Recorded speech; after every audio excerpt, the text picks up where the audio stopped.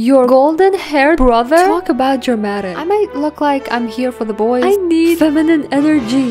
This anime has been on my watch list for a long time. Finally, and I mean finally, I'm watching it. Woo! It's Fate from Tiny Wave TV, and this is my Legend of the Galactic Heroes journal. What I'm gonna do is documenting my experience of the anime as I watch it by recording journal entries every few episodes. And since I've already started, yeah, I've watched two movies and 10 episodes, I was like, how about I do some journaling? So entry one, let me tell you all what I watched so far and my thoughts. Get you a cup of tea, not coffee. This very important. And let's get into it. There are different ways to approach the series. What I'm following is along the lines of this HIDIVE recommended watch order. Golden Wings, I skipped that for now, and then this one, and then Or. I didn't do Or. I watched Overture to New War, and I started the OVA series from episode 1. Let's start with My Conquest is the Sea of Stars. It couldn't go wrong with that title, and it didn't. When I first saw the poster for this years ago, I was like, who is this guy? He's so majestic. After watching this, I can definitely say I like Reinhard. When everyone was trashing his origins, I couldn't help but root for him. But I'm afraid I'm Team Wenli. He, I just vibe with him more. He's not just smart, but also experienced and more mature. He got a good understanding of history and how the world around him works. He knows how things can get complicated and doing what you want to do or what you believe is right to do just becomes difficult. The way these two hit it off from afar was amazing. You know, like getting to know each other based on their moves on the battlefield. Electric dynamic right off the bat. Another character dynamic that I really liked in this movie was Dusty and Wenli's. Girl, they got such positive, therapeutic vibes. Also, I realized Dusty sounded very distinct. I was like, why is this? Why do I feel this way? Who is the Seiyu? So yeah, I had to pause the movie and look him up and y'all, it's Kazuhiko Inoue, you know, Kakashi Sensei.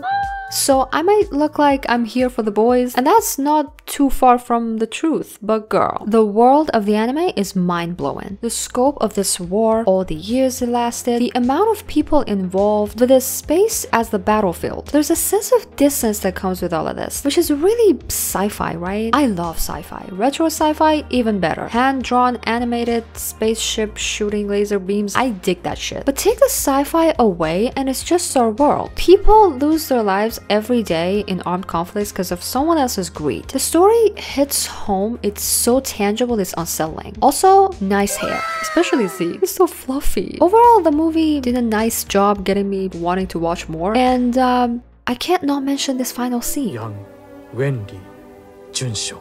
Oh my god. Reinhard von Musel. Talk about dramatic.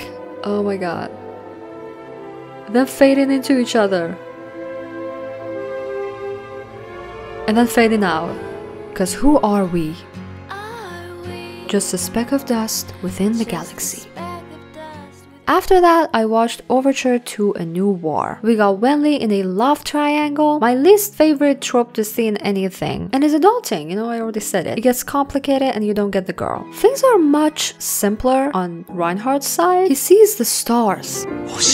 He goes for them. He sees Zeke's hair, finds it fluffy, goes for it. I love that scene. Watching Overture was worth it because of that scene. Now, starting with the movies had its pros and cons, I guess. For the first couple of episodes, I was positive that I have ruined my palette. The quality of the visuals is just better in the movies. I mean, they're movies after all. But it could also be after watching the detailed, more fleshed out narrative of the overture, there wasn't anything new in the first two episodes for me. They just felt like recap episodes. Episode 1 through 2, 5 ish took longer for me to go through than 5 till 10. It felt like things weren't all that interesting, but that Iserlohn operation, that shook things up for me. Them infiltrating the enemy fortress, taking out the axes, close combat, and Oberstein. Yeah, I got a new boo. He kind of gives me Nanami vibes with that voice. I mean, Tsudaki's voice is more like "Rrr." This one's more bright, I'd say. Actually, I know the voice actor from another role of his that I really, really like. So yeah, I need more Oberstein now. This next thing that I'm gonna say, I don't know how to put it.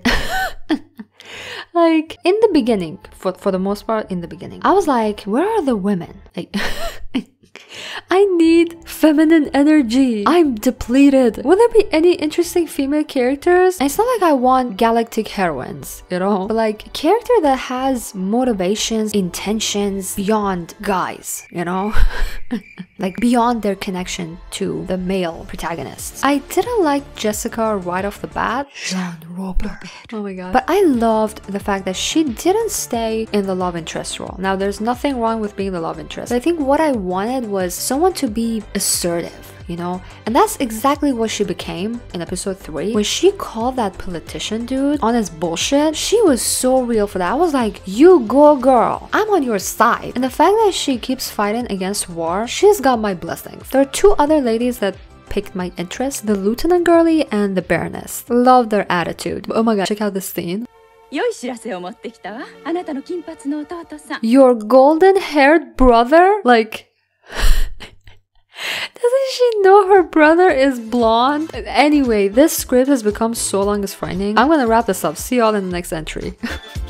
Your golden haired.